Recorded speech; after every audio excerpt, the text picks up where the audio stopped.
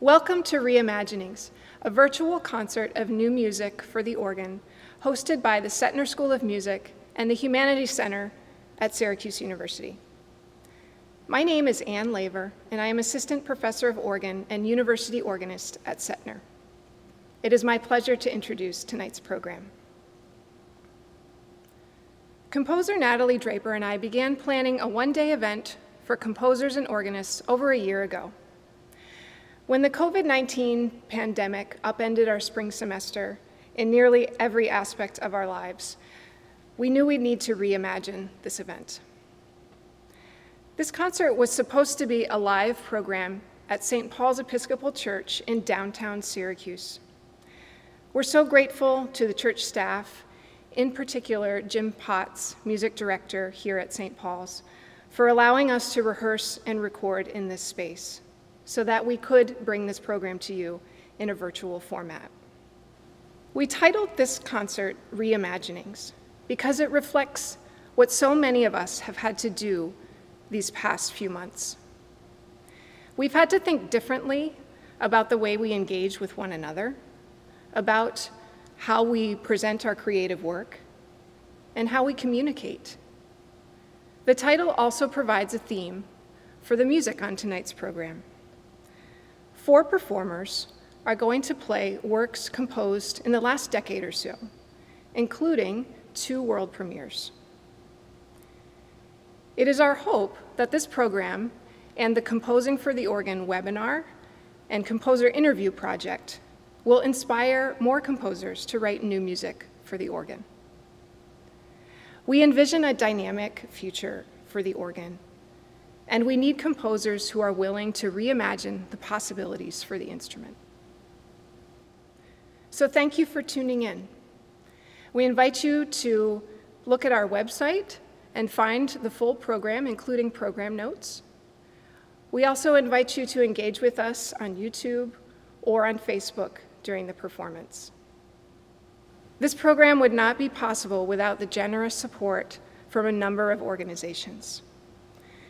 We would like to thank the San Francisco chapter of the American Guild of Organists, the Indianapolis chapter of the American Guild of Organists, the Syracuse chapter of the American Guild of Organists, the Syracuse University Humanities Center Future Symposium, and of course, St. Paul's Episcopal Church. We thank you for tuning in, and we hope you enjoy the program.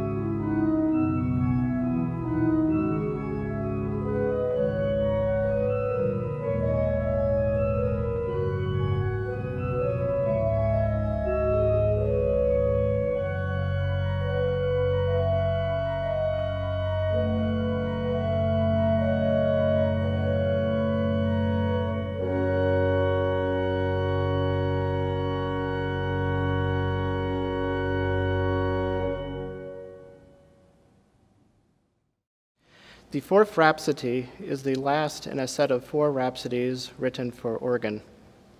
My goal for the rhapsodies was to impose compositional challenges for myself. When I first premiered my Passacaglia in 2016, I received comments that the piece had an essence of music from video games, specifically Zelda and Mario Kart. I did not find this to be negative feedback, since I owe a great deal to this music. It was what first emboldened me to create my own music. My technical challenge for the fourth Rhapsody was to fully embrace the aesthetic of 8 bit video game music, harmonically simple and melodically based. However, the other challenge was to make this piece very complicated while still maintaining a simple essence. The result is a work that sounds light and cheery, while technically very demanding on the performer. The title of the fourth Rhapsody is a smiley face by a colon and closed parentheses. This was originally just a working title, but after a while it felt like the most appropriate title. In my lessons, I would put a cat sticker in the most demanding spots in my degree recital repertoire. When my instructor saw this, he asked, Why is there a cat here? My response was, When I look at the cat and he looks back at me, I know everything will be okay. When the performer or I look at the smiley face on the cover of this terrifying piece, we know everything will be okay.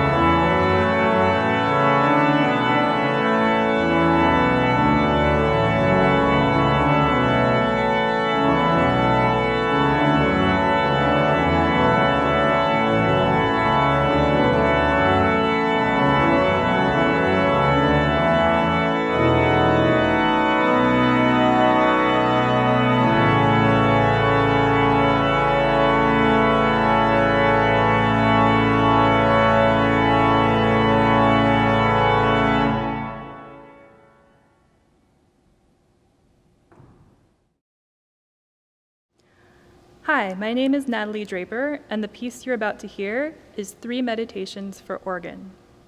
I composed three meditations for organ specifically for Anne Laver during this somewhat unusual summer. This has been my first experience writing for the organ, and I've had a really wonderful time getting to know the instrument and working with Annie. When Annie approached me about writing a piece for the organ, I was both excited and a little bit terrified. I was wondering how I was going to get used to this instrument that we don't typically learn about in, in orchestration classes. Thankfully, Joe Downing and Kathy Farrow of Plymouth Congregational Church allowed me to use their space and to sit with the organ so I could get to know the instrument myself and get a feel for what was possible. The instrument is really amazing, and sitting at it is truly an incredible experience. Little by little, I was able to hear myself in the instrument and get a sense of what piece I wanted to write. It's been a hard time recently, and I, for one, need some sense of healing. And I became really interested in writing a piece that was meditative and somewhat peaceful. I have a lot of memories of growing up in church and also singing in the choir, and so I decided to write an abstraction of a church service. You will hear a florid alleluia, a passionate prayer, and a simple amen. In a way, these are three songs without words, with the organ singing. It's an abstract piece that could work in a concert tradition, but it also gives a nod to the organ's vast sacred tr tradition. Thank you so much, and I hope you enjoy three meditations for organ.